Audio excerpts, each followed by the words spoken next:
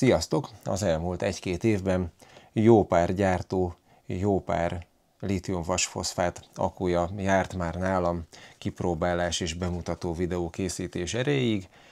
Ismét egy ilyen következik, egy olyan márkából, amit eddig még nem láttam, ez a Smag. Ez a Banggoodról érkezett, és előjáróban azt el tudom mondani, hogy az ára meglehetősen kedvező. A leggyakoribb lítium-vasfoszfát akku méret, ez a hagyományos méretű 100 amperórás 12 voltos akku. Ebben a videóban többek között egy kapacitást tesztel, megnézzük, hogy tudja a ráírt adatokat. Hogyha érdekel, tartsatok velem ma is!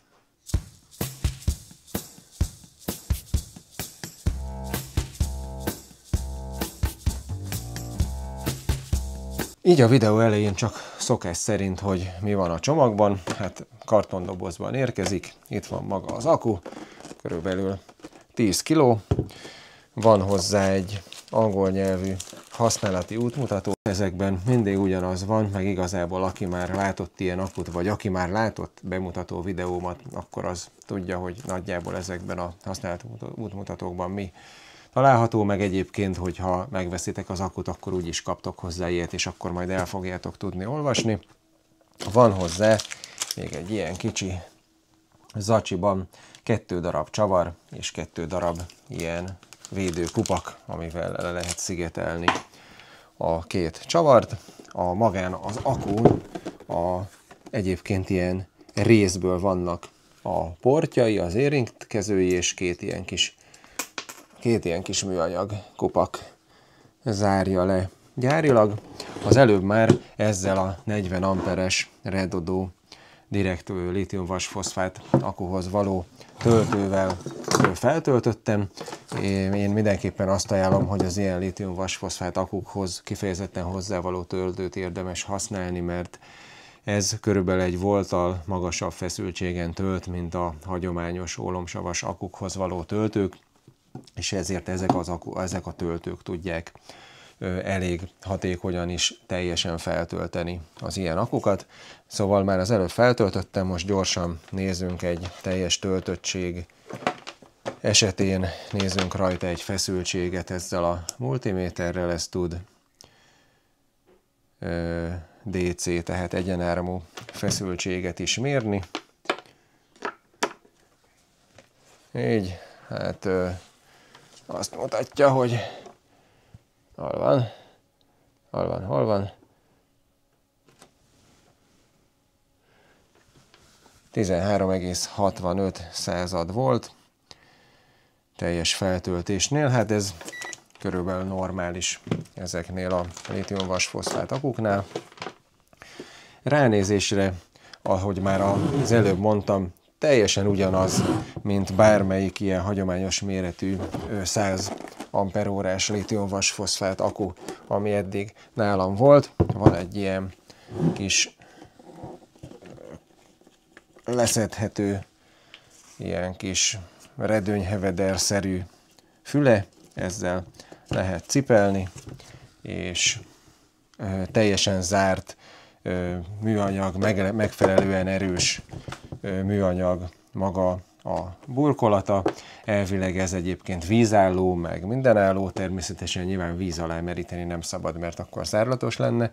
Egyébként meg azt írják, hogy 12,8 volt nyugalmi feszültséggel, 100 amperóra kapacitással, 1280 wattóra energiatartalommal bír, a töltési, ajánlott töltési feszültség 14,6 volt, ezt pont az ilyen direkt litium vasfoszfáthoz való töltők tudják, és a lekapcsolási feszültség pedig 10 volt, tehát a BMS-e, mivel természetesen ennek is beépített BMS-e, tehát beépített Battery Management Systemje, tehát ilyen az akku vezérlő egysége van, amely például a töltésnél is megakadályozza a túltöltést, egy zárlat esetén le tudja kapcsolni az akúnak a kimenő áramát, meg azt is megakadályozza, hogy tönkre menjen a túlmerítéstől az akku, tehát 10 volttól, 10 voltnál automatikusan lekapcsolja az akunak a kimenetét, hogy ettől is megkímélje. Ez, ezzel úgymond a saját magát tudja kímélni, a saját élettartamát meg tudja hosszabbítani. Most már egyébként nagyon ritka az olyan lítium-vasfoszfát akku, aminek nincsen beépített BMS-e.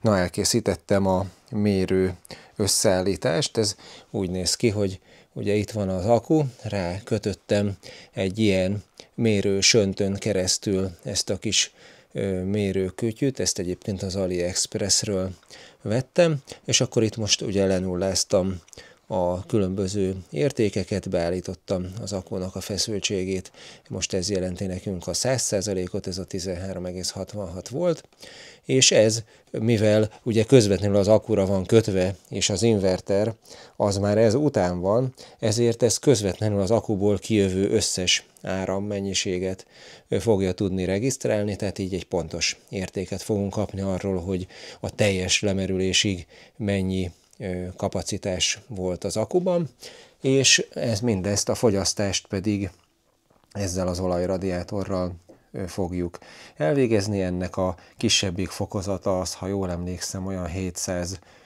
watt, az nagyjából megfelel ennek a, az akkunak, az még egy ilyen 100 amperórás létőn vasfoszfát akku számára egy ilyen viszonylag egészséges fogyasztás, és egyébként az akkura ez a 3000 watt max teljesítményű lithium inverter van rákötve, ez fogja az akkunak az áramából a, az arányradiátor számára alkalmas 230 voltot adni. Most be is kapcsolom az invertert, itt láthatjuk is egyből, hogy szerinte, hát itt egy nagyon kis különbséggel mérnek ezek a készülékek, szerinte 13,5 volt az akku feszültsége, ez az inverter egyébként tiszta színuszos áramot tud csinálni, és 230 voltot fog készíteni, és akkor most jön az, hogy elindítom az olajradiátort,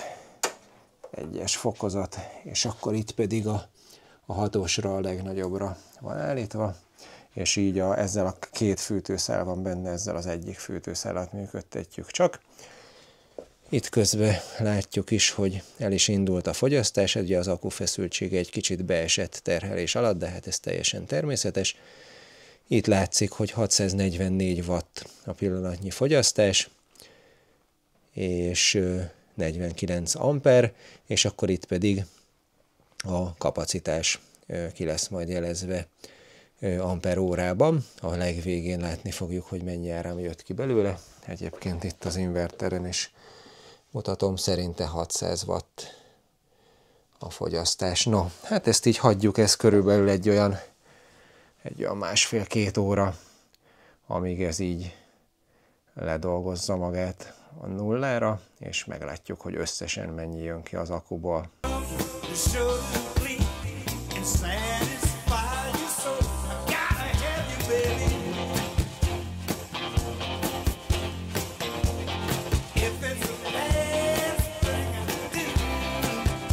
És egyébként az, ugye itt látod, hogy 640 watt körüli teljesítmény jön ki az akuból, miközben az inverter pedig azt mutatja, hogy 600 watt körüli teljesítményt ad ki magából az AC oldalon. A kettő közötti különbség abból adódik, hogy az inverternek van saját fogyasztása, tehát a saját működése során valamennyi áramot elfogyaszt, nyilván a kijelzője is, meg benne a belső alkatrészek ahhoz, hogy ugye az áram átalakítást végezzék.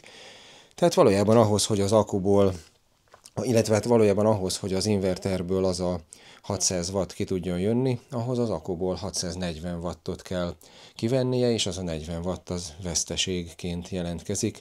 Az átalakítási veszteség, ez minden ilyen konverziónál jelentkezik, minden inverternek van valamekkora vesztesége.